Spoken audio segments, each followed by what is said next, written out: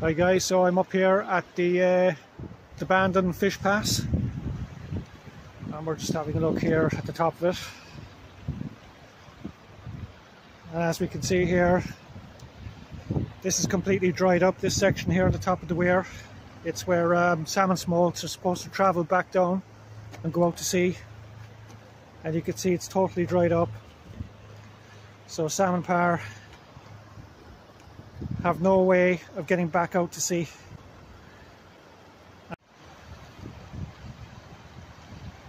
So uh, we're just going to take a walk up here, up to where the fish pass is.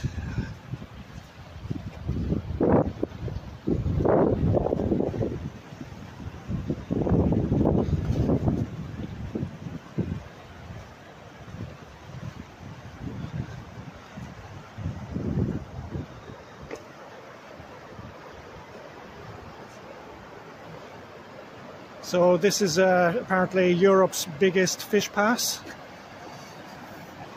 Don't know why the Bandon needed Europe's biggest fish pass. But anyway. Oh yeah, there's a little bit of wildlife here. A few ducks. Hi guys.